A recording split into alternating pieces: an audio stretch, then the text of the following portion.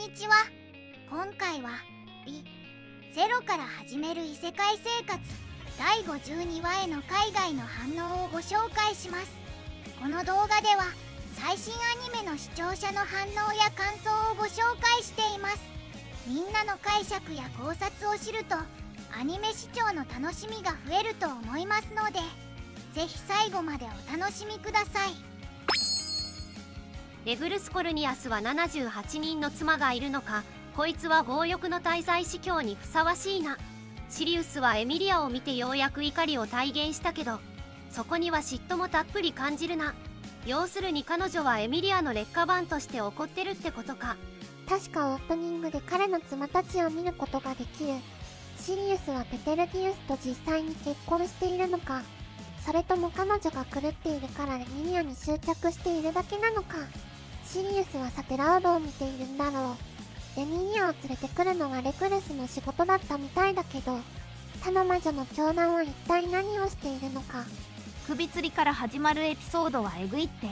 あの吊り下げられて死ぬシーンはグロテスクで恐ろしくてモノローグで彼の怯えようもよくわかるしシリウスが少年の目を舐めたシーンにはゾッとしたわ。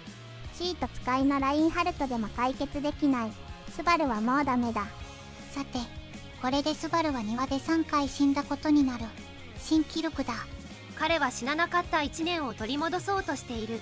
タッテイ先生はこの記録を破りたくてグズグズしているに違いない。塔の中での死が本当に残酷すぎた。さすがリゼロ。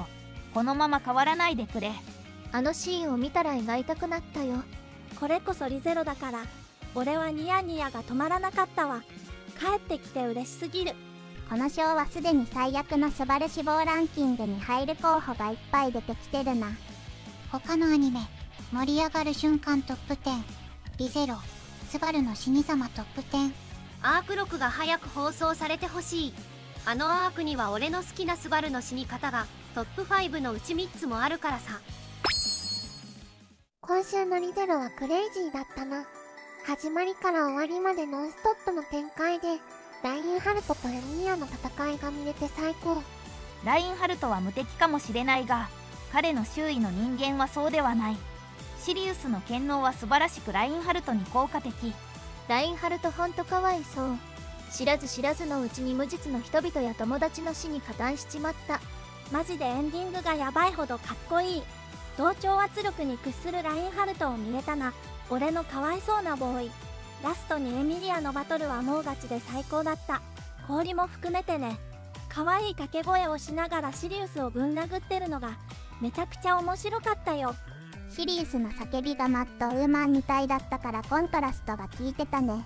お互いの個性がこれでもかと出てたから見てて楽しかったよ。エミリアが可愛く戦ってる対比がマジで笑えるし見ててめちゃくちゃ楽しかった。シリウスが塔に現れた直後にエミリアが大きな氷の攻撃を使った時は笑いが止まらなかった。オープニングとエンディングもあって23分のエピソード。リゼロのスタンダードから考えるとタイトだけど脳が震えるには十分だった。制作陣はこのエピソードを素晴らしく仕上げてくれた。規制が入ることを心配してたけど人間は真っ二つになったしスバルの指も吹っ飛んだ。わおビューティフル今回はスバルの内心のモノローグも多くて嬉しかったよ。ヘッドホンでスバルの心の声がエコーで響き渡るのを聞くの。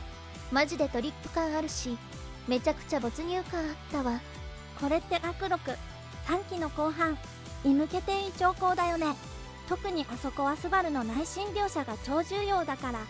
これまでのストーリーで一番短い死のループになってるな。正気じゃない。確かに普通なら起きたこととその過程について考える時間があるのにね。衝撃と強行を立て続けに見ることになるから面白い。戦闘中のエミリアがこんなに可愛いことを忘れていた。私は彼女が最高に生きてることを忘れてたよ。氷の武器とそれを見事に使いこなすのはかっこいい。1年で修行したのはスバルだけではないのかもしれない。散々言われてるのは理解してるけど見てるとものすごく時間が早く流れてる気がする。つまり10分ぐらいに感じる。ちなみに戦闘中のエミリアが出す音はとてもキュートだった。LOL ショーでも屈指のグロテスクなシーンの後でのリリアナへのヘッドバットには笑ってしまった。自分に価値と自信を見いだしたスバルが自分が大切な人も自分を大切に思っていることを知ったことは前期での大きな成長だと思う。ベアトリスとエミリアがスバルを助けようとするのはとても素敵な光景。オープニングは素晴らしい出来だったけどリゼロだからシリーズで2回しか流れなさそう。それでこそリゼロ。オープニングとエンディングがまたまた素晴らしい出来。エンディング見ていてこんなにワクワクするのは久しぶりだと思う。フーリー氏。間違いなくオープニングが2種類流れたビジュアル的にも音楽的にもあれはエンディングじゃない。オープニングとエンディングのビジュアルが映画級のクオリティですごかった。あまりにも良すぎて絶対スルーできないやつだわ。みんながスバルを支えてる。エンディング良すぎるよ。このエピソードでオープニングとエンディングが流れた。俺の知ってるリゼロじゃないぞ。今度の滞在司教の声優は素晴らしい演技だね。本当に賞を受けるべきだよ。エピソードを見ながら彼女がこのキャラクターにどれほどの努力を注いだかを想像した。ちなみにリコリスリコイルの千里を担当しているよ。ペテルギウスの声を担当していた松岡を思い出させるね。彼らは同じエネルギーを持っているよ。笑い。安西地下に拍手を。これだからリゼロは異世界の王様なんだ。素晴らしい傑作。なんて傑出したエピソード。音楽も完璧に不穏で落ち着かない。素晴らしい全体としてのエピソードは確かに良かったけどちょっとペースが速すぎに感じない。私だけずっとシリウスがどうしてフンドなのかわからなかった。けどエミリアが登場してしかしスバルは息をつくいとまもないな。理解死んだと思ったら今度はね取られの危機。彼の将来の苦悶が今から見えるようだ。リゼロを見ながら食べてはいけないことを忘れていた。エミリアはモノローグ中のボスに奇襲攻撃を仕掛けるという。RPG で誰もがやりたいことをしたな。